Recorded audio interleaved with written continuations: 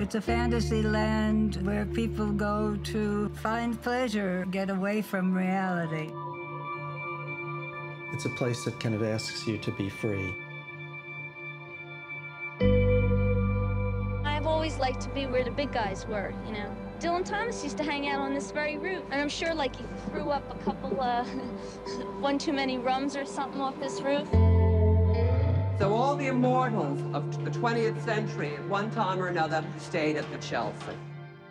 There are people here who really are the remnants of another time in New York. I'm working on something. Hi, John. How you doing? I'm here. How you feeling? Terrible, terrible.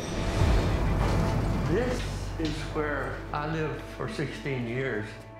They tried to move all the residents to the first floor because when the hotel opens, it's going to be very fancy and expensive. The hotel needs to be finished. Yes, we are in the ninth year. Stop! Hey! When was this ever not okay? Janis Joplin may have put a toothbrush in here. There's energy in the building. You know you'll never leave.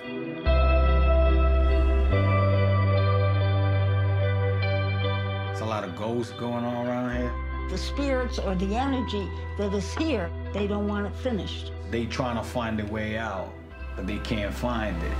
Are you looking for someone? The Chelsea is kind of like a grand old tree that's been chopped down.